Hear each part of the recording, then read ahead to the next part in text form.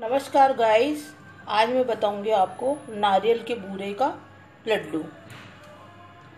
इसको मार्केट में बूरा बोलते हैं। ये है नारियल का किसा हुआ बूरा। नारियल का किसा हुआ बूरा, चेरी, इलायची, किशमिश, काजू बादाम, पिसा हुआ बूरा, चीनी का और मिल्क पैन को हमने चढ़ा दिया है गैस पे। अब हम हमारे बूरे को सेकेंगे।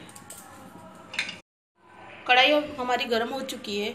इसमें हम डालेंगे बूरा। बूरे को डायरेक्ट डालना है गाइस क्योंकि हमें इसमें घी का उपयोग नहीं करना है, क्योंकि बूरे में ऑटोमेटिक ही घी होता है। अब हम इसको थोड़ा सा खुशबू आने तक और गोल्डन ब्राउन होने तक सेकेंगे। ये हमारा गोल्डन ब्राउन हो गया है और इसमें से अब खुशबू भी आने लग गई है। और अब हम इसमें किशमिश मिलाएँगे।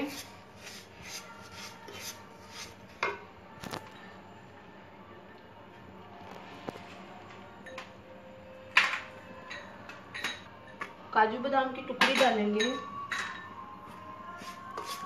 हमने इसमें किशमिश डाल दी है, काजू बादाम की टुकड़ी डाल दी है और अब हम इसमें हम मिल्क ऐड करेंगे थोड़ा सा इसमें घी का बिल्कुल भी प्रयोग हमें नहीं करना है। और ये गाइस हमने घी का बिल्कुल प्रयोग नहीं करा है। इसमें हमने दूध डाला है और आप इसमें, आज कृष्ण जन्माष्टमी है, आप इसमें नवरात्रों और आज वाले व्रत में आराम से इसका उपयोग कर सकते हो। अब ये थोड़ा सा ठंडा हो जाए तो हम इसमें अपना बूरा मिलाएँगे। ये हमारा ठंडा हो चुका है, अब हम इसमें पिसी हुई चीनी यानी बूरा मिलाएँगे।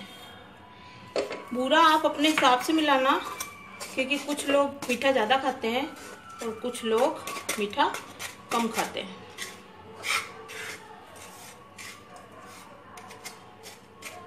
गाइस ये देखिए, आप इसकी बर्फ़ी भी जमा सकते हो। ये देखिए, इस तरीके से हम लड्डू बनाएँगे। ये देखिए गाइस ये देखिए।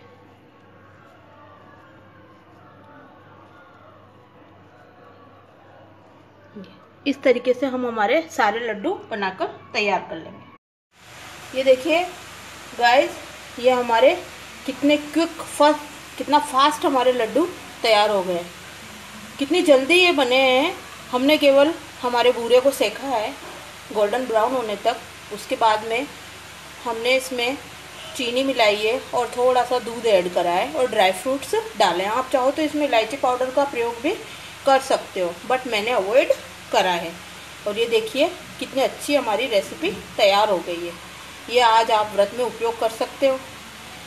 अगर गाइज़ मेरे ये आपको वीडियो पसंद आया हो तो प्लीज़ आप सब्सक्राइब कीजिएगा लाइक कीजिएगा कमेंट्स भेजिएगा और शेयर भी कीजिएगा। Thank you for watching my video thanks a lot guys